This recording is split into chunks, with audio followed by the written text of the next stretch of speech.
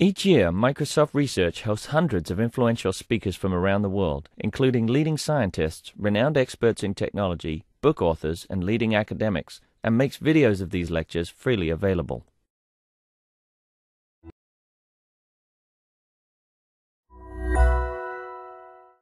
Now the next speaker, Chris Bishop, uh, is going to talk about machine learning. Chris Bishop is a distinguished scientist from Microsoft Research Cambridge Lab in UK. And uh, he heads the machine learning and perception group over there. He's also the vice president of the Royal Institution of Great Britain and professor of computer science at University of Edinburgh. He's fellow of Royal Academy of Engineering, and a fellow of the Royal Society of Edinburgh, and a fellow of uh, Darwin College of Cambridge. His research interests include machine learning and its applications, neural networks, pattern recognition, and natural language processing and their applications. Request Chris to come and deliver the talk. Thank you very much. Uh, good afternoon, everybody. Excellent.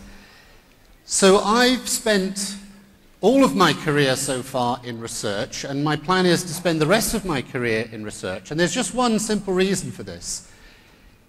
If you solve a problem in research, then it stops being research. So as a researcher, you move on to the next problem, which means no matter how long you spend in the field of research, you're always working on new things. It's always fresh. Being a researcher, I think, is tremendous fun. It's exciting to solve difficult problems. It's exciting to see your work have an impact on the lives of millions of people. And I consider it to be one of the greatest privileges in life actually to be paid to do something you enjoy doing. If you enjoy what you do, you have a happy life. So that's why, for me, research is the best career, even better than a rock star. So in this talk, I'm going to tell you a little bit about my research field, which is an area called machine learning. It's been mentioned several times. It's the idea that computers, instead of being programmed to solve a problem, they can learn how to solve the problem by seeing data. They learn from example, they learn from experience. I, when I first moved into computer science about 20 years ago, the field of machine learning was very small. It was kind of in a corner of the field. But today it's, it's mushroomed. Today, machine learning is one of the hottest and fastest moving areas of computer science. In fact, in Microsoft Research, quite a significant proportion of our research is either research into machine learning or research which builds on and which depends upon machine learning in one way or another. Now, the aspect of machine learning that I want to talk about this afternoon has to do with the problem of dealing with uncertainty. Now, I'm sure you know computers are built not on uncertainty, but on logic. So the hardware engineers who design computers work very, very hard to remove uncertainty. They want everything to be true or false, zero or one. And that's fine if you have a small computer working in isolation. But today, we connect thousands and millions of computers together, and they become a very complex system. We have computers that interact with people. We're always interacting with computers all day long. And people are not zero or one. They're complex. They are full of uncertainty, ambiguity, contradiction. And especially in the field of machine learning, we get computers to learn from vast quantities of data, data collected from all kinds of places. That data is full of uncertainty. It has noise, it has errors, it has gaps. It has contradictions. Let me just give you one example of what I mean. This is Xbox. This is Microsoft's game console. And it's connected to a cloud service called Xbox Live. Now, millions of people use Xbox and Xbox Live to play games against each other. You can go on the Xbox and you can play a game against people from all around the planet. So Xbox Live has to choose which people to match up to play games against each other. Now, if you want to have a good game, you want to play against somebody who has a similar skill level to you, so you don't win too easily, you don't lose too easily. So a critical thing that Xbox Live has to do is to make an assessment of the skill of each of the players. And the problem is we don't really know how skillful somebody is, especially if they're a, a newcomer to Xbox Live. So we're uncertain about a player's skill.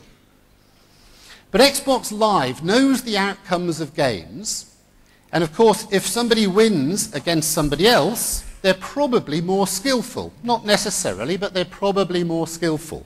So as we see the outcome of each game, Xbox Live gets relevant information that helps it improve its estimation of the player's skills. But no matter how many games it sees, it can never be completely certain about a player's skill.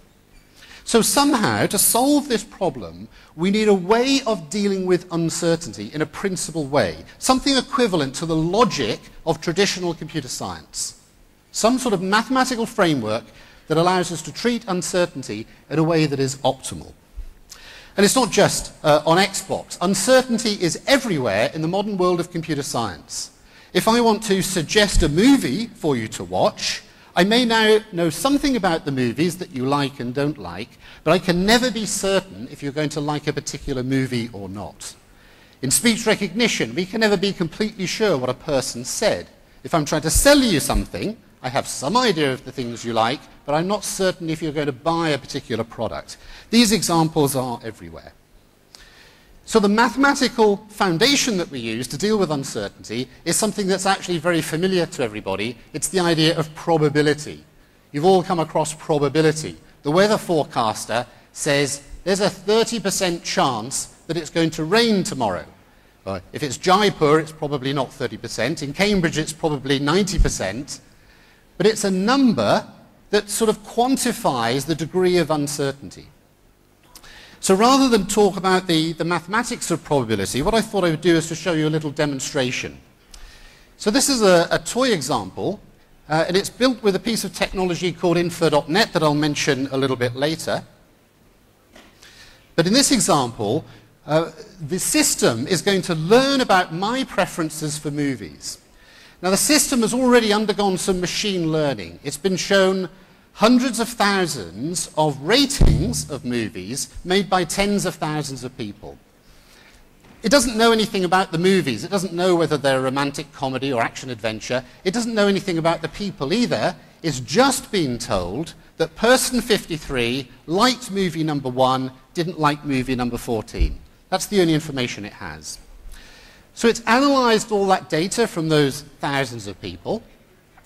And now what it's going to do is to learn about my movie preferences. So I wasn't one of those people. It knows nothing at all about me. So what I'm going to do is, first of all, imagine that I've watched a movie. Let's say I've watched uh, this one, Pretty Woman. And let's say I like this movie. So I'm going to drag this across into the green region. And what it's doing is reordering the other movies according to the probability that it thinks I will like that movie. So let me explain what's going on on the screen here. The, the vertical position of the movie on the screen doesn't matter. We've just spread them out so you can see them. What matters is the horizontal position. So a movie which is down the right-hand side is one which the the computer thinks I'm almost certain to like. If it's down the left-hand side, the computer is very confident that I will dislike that movie. And if the movie is in the middle, it's 50-50. It's really just not sure whether I'll like that movie or not. Now look what we have at the moment. We have all the movies down the middle. We have a lot of white space down the right-hand side, a lot of white space down the left-hand side. So the system at the moment is very unsure. It's very uncertain about which movies I like and which movies I don't like. And that's not surprising because it's only seen one piece of data. I've only rated one movie so far. What I need to do now is to give it a little bit more data. So let's take another movie and let's say that I don't like this movie. Okay, what we see is the movies are starting to, to spread out left and right. The movies are moving towards uh, certainty on the right-hand side that I like them, certainty on the left-hand side uh, that I won't like them. So this, if you like, is the, the modern view of machine learning. It's a computer that becomes less uncertain as a result of seeing data. In other words, it's learned something from that data. Now, at the moment, it knows very little about me. There's one movie I like, one movie I don't like. Let's see what happens if I uh, have another movie that I like, another movie that I don't like. Now what you see is a very different uh, pattern. Most of the movies are either down the right-hand side. These are ones it's fairly confident that I'm going to like. These would be good ones to recommend to me to watch. These are ones it's pretty confident um, that I won't like. And, and, down the middle, there's a lot of white space. So the white space is in the middle now. It's much less uncertain as a result of seeing data. It's not completely certain. No movie is exactly at the right or the left. So there's always a bit of uncertainty. And there are one or two movies in the middle it's really just not sure. I'm just briefly going to show you one more thing about this demo because Jeannette mentioned information. And information is such a key concept.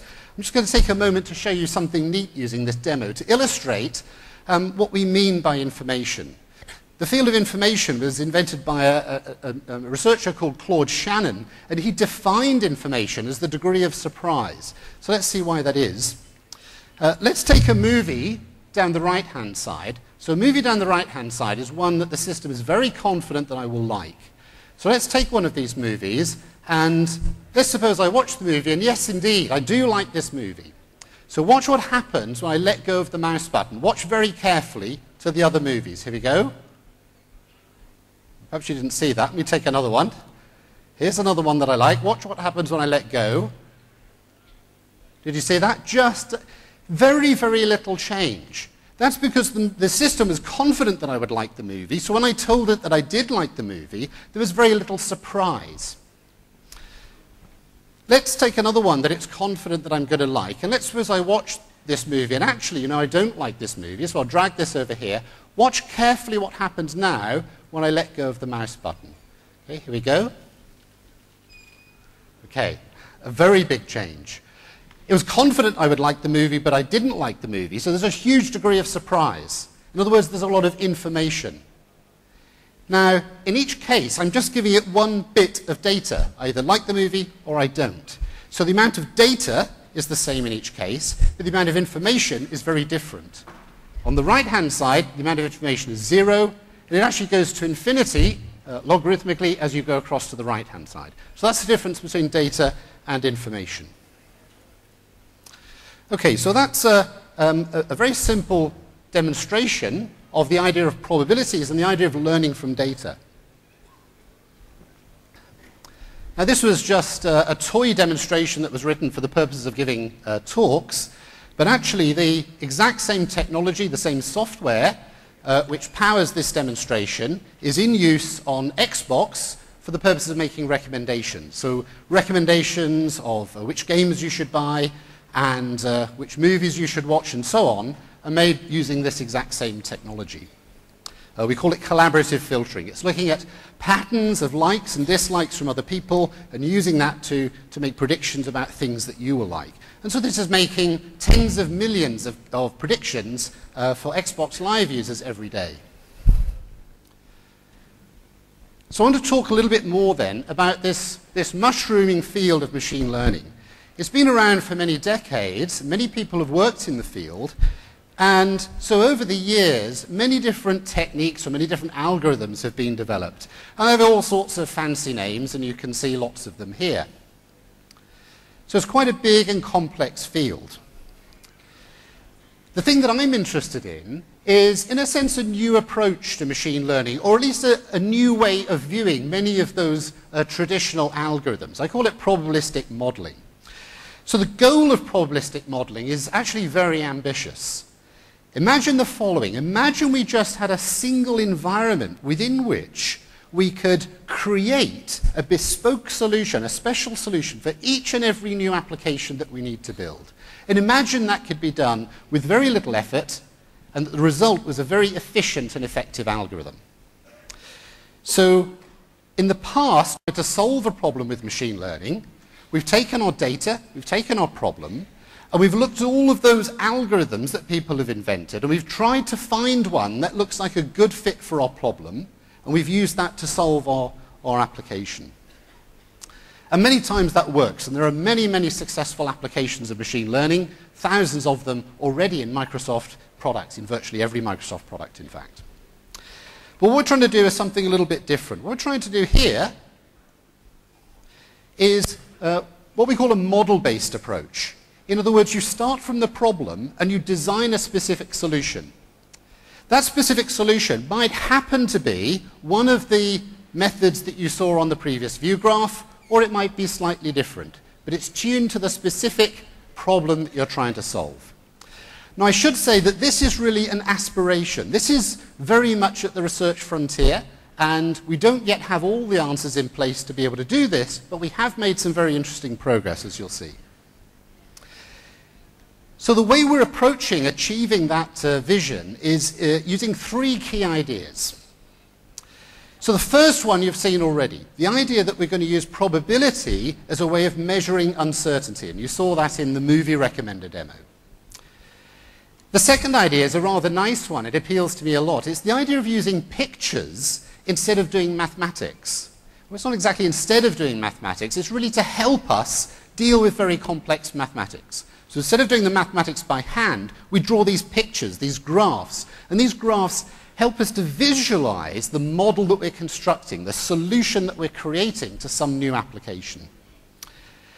And then the third thing we need, we need this to be very efficient. We want to apply this to large data sets, millions or billions of data points. We need it to be very efficient. And we need clever and efficient algorithms that can actually do the machine learning. We call this an inference problem. And so having those algorithms, those efficient algorithms, is, is essential if we're to achieve this vision.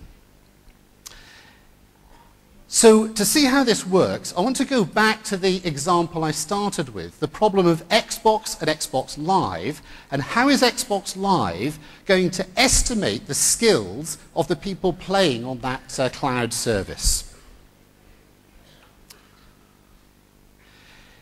So the problem of estimating the skills of people playing games against each other, of course, is a very old one. It's been around for a very long time. And if you consider a game like chess, in a game like chess, one person plays against another person, and we want to use the outcome of all of those pairs of games to work out the skills of everybody involved in the chess tournament. This problem was actually addressed by a physicist named Elo, and he came up with a, a, proposed solution to this problem. And ELO is very popular. ELO is used worldwide uh, in the game of chess. Anybody who plays chess has an ELO chess rating, and it's used in many other games as well. Now, ELO seems to work, but there are various problems. One of the problems is that it's fine for two people, but if we have a game involving many people, then ELO simply doesn't apply. And obviously that's no good for Xbox, because on Xbox we might have four players, eight players playing in the same game. Another limitation of ELO is that it doesn't address the problem of team games. Imagine we have four people in a team over here playing against four people in a team over here. Let's say this team is the winner.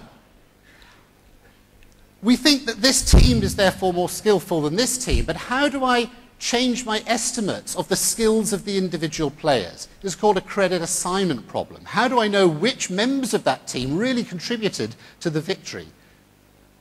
Again, ELO doesn't address this.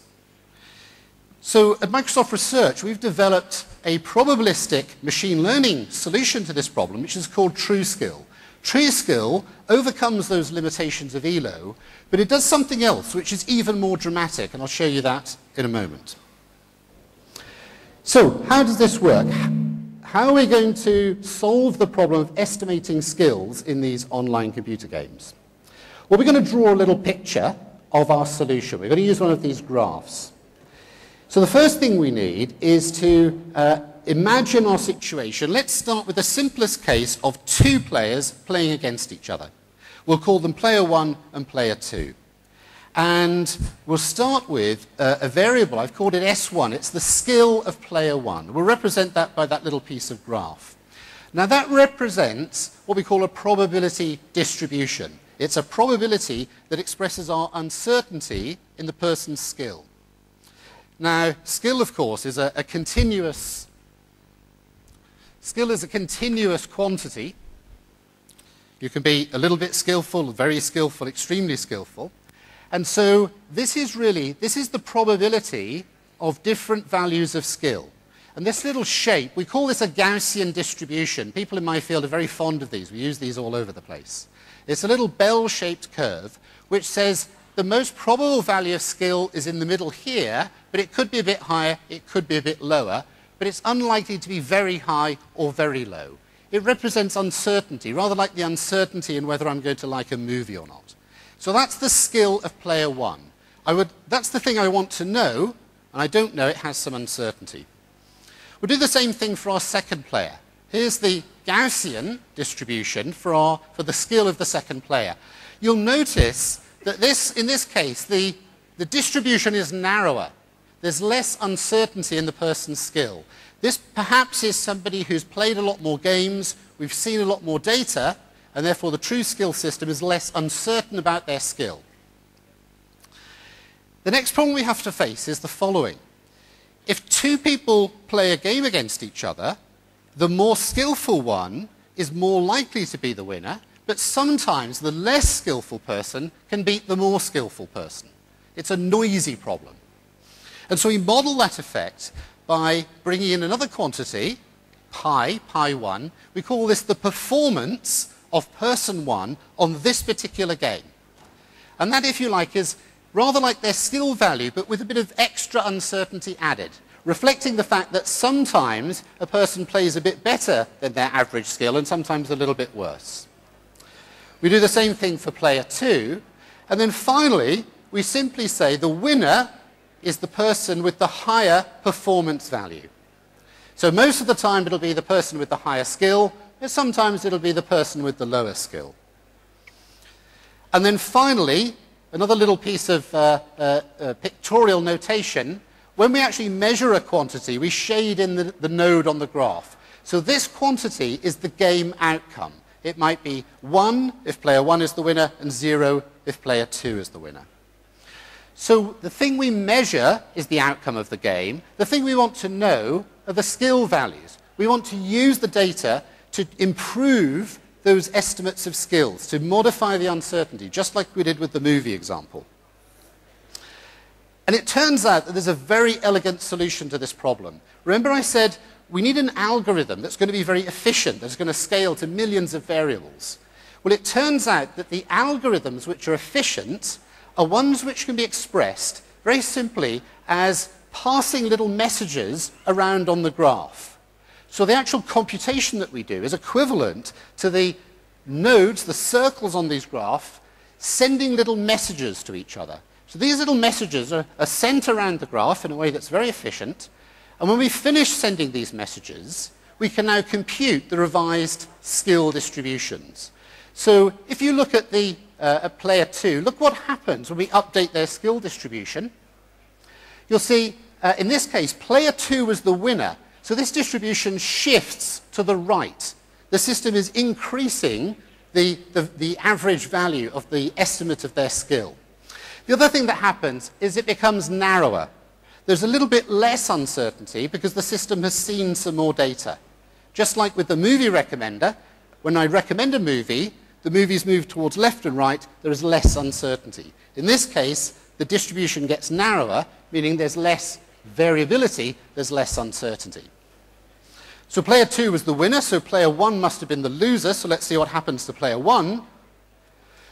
Well, that distribution shifts down a little bit because they were the loser, and so the average of their, their skill estimate is reduced a little bit. Also, that distribution again gets a little bit narrower. The system has seen some more data, it's learned from the data, it's become less uncertain, and so the spread in that distribution is a little bit less. So let's look at some actual results. And you know, one of the things we do in research is not enough just to come up with an idea and then get it working. We often do comparisons. We want to know, is this technique better or worse than some other technique? Perhaps it's better in some respects, perhaps not so good in other respects. Well, the obvious comparison to make here is between the TrueSkill algorithm, the TrueSkill probabilistic model that I've just described, and that ELO system, the system that's used in chess and in many other games. So this is some data taken from an Xbox game called Halo, And this data actually involves thousands of players, but what we're going to do is just plot the results for just two of these players. So these are their sort of user aliases. And on the axis here, this is the number of games they've played. So notice this is 100 games, 200 games, 300 games, and so on. And this is the estimate of the skill values of those two players. And in this case, everybody starts off with a skill of zero. So under ELO, you see what happens. Every time uh, a game is played, there's a little formula in ELO which updates the skill value. So the skill values are increasing, and you can sort of see they're starting to curl over, and eventually they'll flatten off. If we take exactly the same data and we process it using the TrueSkill system, what we see is this. We see dramatically better convergence. The convergence is um, uh, somewhere between a factor of 10 and a factor of 100 faster. I'm not talking about compute time, although the compute time is actually, it's maybe half the speed of ELO, it's certainly very fast. What I'm talking about here is how many games do you have to see in order to have a good estimate of the, of the skill value. So you see, after about 100 games, ELO is still changing its mind, increasing the skill value in tiny steps. TrueSkill is getting a very fast estimate just after a handful of games.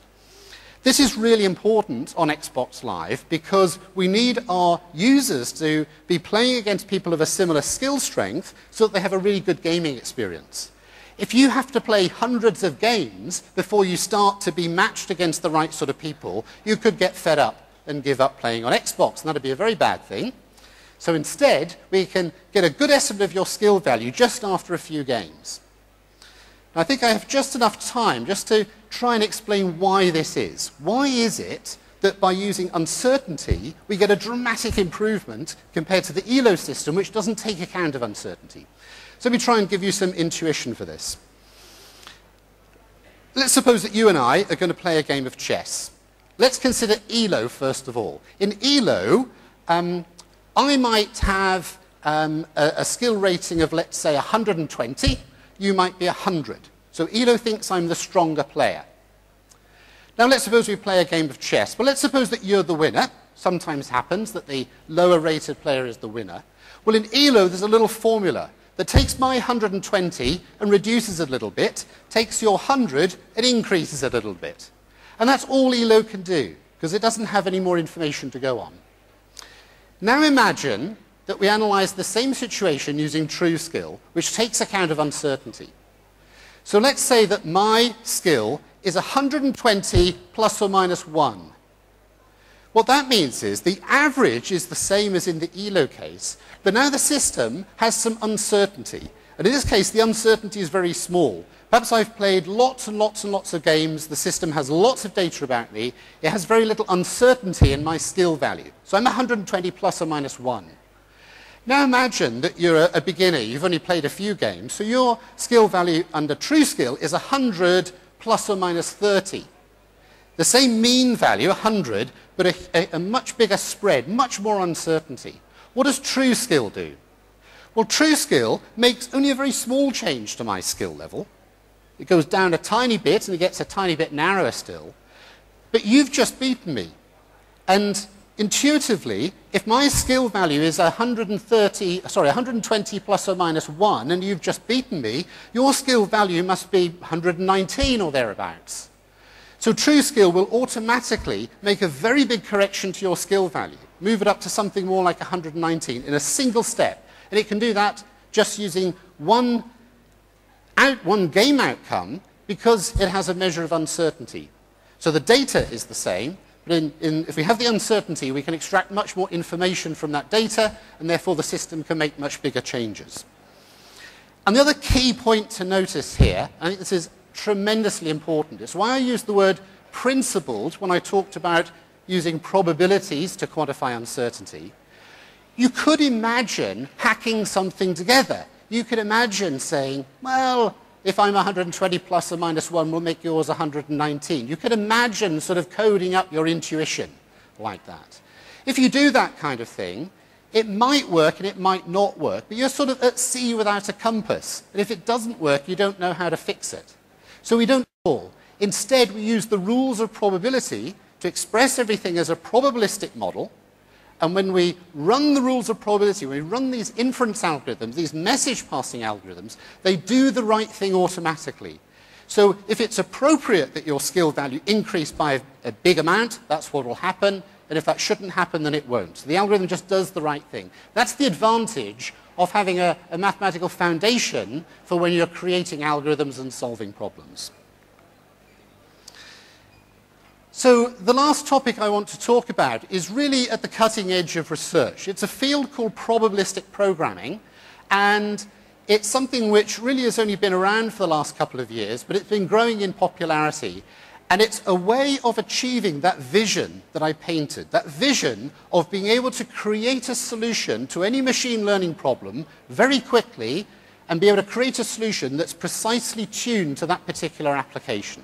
So we call this probabilistic programming. So what is this? Well, let's think about how we would go about um, coding up TrueSkill. If I sent you off to code up TrueSkill, what would you do? Well, you might do something like the following. You might take a, a, programming language, let's say C Sharp or some other programming language, and you would write out the, the whole TrueSkill algorithm, all those inferences, all those message passing algorithms, you'd code them all up in C Sharp. It would take you well, first of all, you'd have to derive all the equations by hand on a sheet of paper. That would take you, you know, a week or two, and you might make some mistakes. Then you'd have to code them all up. That would be thousands of lines of code. Would take you some more weeks, and you'd make some more mistakes. But eventually you'd end up with your code. You run it through a compiler to produce machine code. That combines with the data, the game outcomes in the case of TrueSkill, and the output will be probability distributions, distributions over the skills of the different players. But imagine we could do the following. I've just explained to you, roughly, the TrueSkill algorithm by drawing a little picture. Okay? I was able to explain it to you in a very simple way by just, by just drawing a little diagram. Imagine if we could explain that to the computer. If we could take a picture, or more likely, a, a very short piece of code, which doesn't talk about inference and message passing. It simply talks about player one and player two and the Gaussian uncertainty in their skills and their performances and who was the winner. Very, very simple piece of code. We call that a probabilistic program. So the idea is to have a very compact description of the model and then to use a very clever piece of software called a probabilistic programming compiler, which will take that model and automatically generate the thousands of lines of C-sharp code or whatever it may be that represents a, a coding up of, of TrueSkill. So that's the vision. We have by no means achieved this vision. This is very much at the research frontier. Um, I was listening to an excellent talk earlier this week by one of the researchers in MSR India who's made some very exciting advances towards achieving this vision, but we are by no means there. It may take a number of years before we really achieve this, and perhaps by then uh, we can recruit the help of some of you to tackle some of these very difficult but very exciting problems. Uh, we have uh, various technologies. I'll mention one of them, Infer.NET in, in MSR. Uh, there are other tools as well that are trying to achieve this goal of probabilistic programming. We've made some very exciting steps forward. We're certainly not all the way there yet. So let me illustrate probabilistic programming by going back to our example of TrueSkill. This is the graph that you saw earlier, which represents two people playing a game against each other. How would we represent this as a probabilistic program? Well, this is what it looks like in Infer.NET. So it's extremely compact. We've got some, some declarations at the top, and then essentially each line of code represents one piece of this graph. So this line of code says that the skill of player one is a Gaussian. That's this piece of graph. This line says the performance of player one is a Gaussian another Gaussian, and the center of that Gaussian is equal to the skill of player one. So that just says that there's another variable and it's connected by a line in the graph to the first variable, and so on. So we can take that graph and we can translate it into a few lines of code. So that's very exciting. But what's really exciting about probabilistic programming is that when you want to change something, you can do it very quickly. You know, in, in machine learning, we would like to be so clever that we could just solve the problem directly. And that very rarely happens. What usually happens is we have to try out lots and lots of different things and compare them. We do that all the time in machine learning. So it would be great if we could very con quickly construct lots of different solutions so we could compare them quickly and so we could take a good solution and tweak it to make it a little bit better. So let's see how that might work. So let's look at one of the problems I mentioned that ELO doesn't address. Remember, ELO only works for two players. What if eight of us want to get together and have a, a game on Xbox? Well, it's actually very easy. We draw the graph. This is the case of three players playing a game against each other. Here are the three players. Here are their performances, how well they did on this particular game. And these are the game outcomes. Perhaps player 2 beat player 1, player 3 beat player 2. What does the probabilistic program look like? Well, it's very similar to the previous program. The, the lines highlighted in yellow, those are the pieces of code that are different from the first case. So those are the changes that we have to make to implement this case. Here's another problem that ELO doesn't address. Teams. What happens if we have teams? So here's a simple example. There are two teams. The first team involves two players, players one and two. And the second team, uh, as it happens, also involves two players, players three and four. The performance of team one depends upon the skills of the two players. So in the simplest case, it would just be the skill of player one plus the skill of player two. Um, if it's a race and it's first to pass the finishing line, it would be the max of the skill of player one and the skill of player two, and so on. And then the two teams play the game, and this is the game outcome. Maybe team two is the winner. And by sending messages around the graph, we can update the individual skills of these players, not just the, not just the skills of the team as a whole. And again, that can be expressed as a probabilistic program. So again, the lines highlighted in yellow are those items which are different from the simple two-player case. Again, a very simple change, very simple to change the code and then recompile. The actual inference code itself is, is very different. It's much more complex in this case. The probabilistic program is very simple. And then finally, everything I've said so far assumes that the skills of the players are fixed. So when those distributions moved, the skill of the player was fixed. What was changing was the uncertainty that the computer had or that TrueSkill has about the value of that skill. But that's too simplistic. If, if you're new to Xbox or you start playing a game, you won't be very good to start with, probably, because you haven't got much experience. As you play games, TrueSkill is estimating your skill value with greater and greater precision, but your skill value is changing because you're probably getting better because um, you're gaining experience. Or perhaps you don't play for a few months and your skill goes down again. How can we model that? Well, again, here's the graph. This is two people playing a game against each other, and this is the game outcome. A little bit later, the same two people get together and they play another game. Previously, we would have assumed that the skill of player one on the new game was the same as the skill of player one on the old game. This time, we introduce another of these Gaussians, we just introduce a little bit of uncertainty. That's all we need to do. Allow for the possibility that the skill of the player itself might evolve through time. And again, this is the change to the code that we need uh, in order to implement that. Now, of course, there are some extra lines of code to read in the data and write out the answer and so on. That's very straightforward. But the code I'm showing you is real code that actually compiles, and this is the actual code that you would use in Infer.NET to implement these models. And finally, what I've been describing, this TrueSkill, is not just an idea, it's actually a system. It's been used uh, on Xbox Live now for, for many years. It is the only supported system on Xbox Live for estimating the skills of players. Xbox Live currently has 48 million users and continues to grow. And every day, TrueSkill processes the outcome of millions of game outcomes, millions of games results from millions of players. So this is a real system that's in actual use.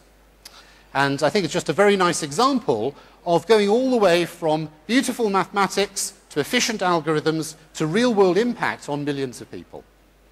And with that, let me say thank you very much.